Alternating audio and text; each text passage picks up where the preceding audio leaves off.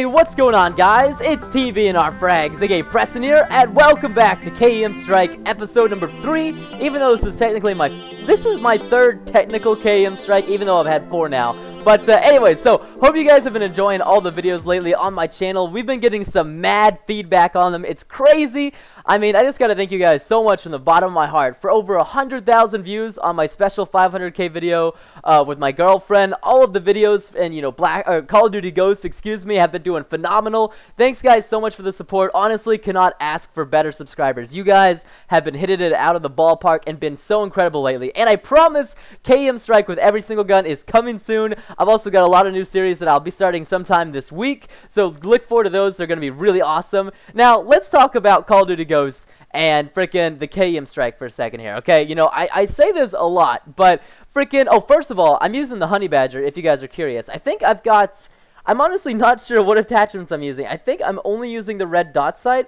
I don't know what else I'm using. I'm still kind of like really fiddling around with all the different kind of things because there's like there's a lot of things. There's like a grip and there's like uh, you know what's it called armor piercing ammo. There's a lot of different and like the muzzle brake. There's so many different attachments now that actually increase your damage that I've got like they increase your damage and then some reduce the accuracy. There's so much stuff that's going on in Ghost man that I've got to learn and I've got to test out. And that's what I've been doing lately, man. I've been trying to find really good class setups, good perk setups, good equipment setups for you guys so I can help you get the KEM strikes easier. But still, man, I have no freaking idea. I'm still trying to learn the spawns in the map, but guess what? I have no freaking idea, man. I have no idea at all about Call of Duty Ghosts. It's still so crazy and just so hectic. Like, I mean back in Black Ops 2, like I said, usually you could get spot, you know, shot from maybe three spots at max. Typically, there's only two spots where you have to watch. Well, in COD Ghost, man, it's like a mix master in downtown Dallas, okay? It is like 8 to 12 different spots where you can get shot from at like any time.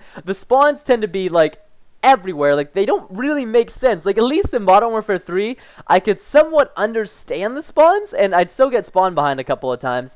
But I just, I, I, I can't even, like, understand these spawns, man. I'm still trying to learn them. So there's still a lot of stuff for me to do before I can give you guys like, you know, correct and accurate KEM strike info because I really want to do the KEM strike with every gun series. I, I, I love that series in Modern Warfare 3 so much and I want to bring it to uh, Call of Duty Ghosts for you guys, but I don't want to do it when I'm not ready yet, because I still don't have the right tips, the right class setups, the right guns, and all that stuff to do for you guys yet. So in the meantime, you guys are just going to grind out the KEMs with me, and uh, we're going to have a lot of fun. And actually, I love the KEM strike symbol. I don't know about you guys, but I love how it looks, like the little Grim Reaper with the scythe. I think it looks so cool. I actually changed my live stream uh, Twitch TV subscriber emblem to uh, the KEM strike. It looks so cool. So now anybody that subbed on Twitch has like the uh, the little Grim Reaper KEM uh, symbol next to the name, and it looks oh my gosh, it looks so freaking cool. That, that that's beside the point. I'm just saying, looks freaking awesome, and I absolutely love it. So I just I really like Call of Duty Ghosts because it's a really difficult game. But there's one thing that bugs me, and that is when I go around a corner, man, I get dropped like as soon as I get my gun up. And I know I'm not bad at Call of Duty. Now I'm not trying to be cocky or anything, but I've been playing this game for seven years. I've played it professionally.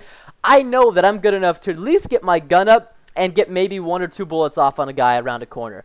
I know that I just I I don't I just I'm not the kind of player that gets dropped like super fast. So I don't know. I've got to change my playstyle up. I've got to do something to change it, man. So that's why I'm streaming so much because I'm trying to learn the game, trying to learn all the classes and stuff like that. But uh, anyways, video's coming to an end here, guys. Thank you so much for watching this KEM strike on Octane. If you guys enjoyed, make sure to leave a like down below. Subscribe if you're new. Have a wonderful and safe day, guys, and I'll catch you in future videos. Later, dudes.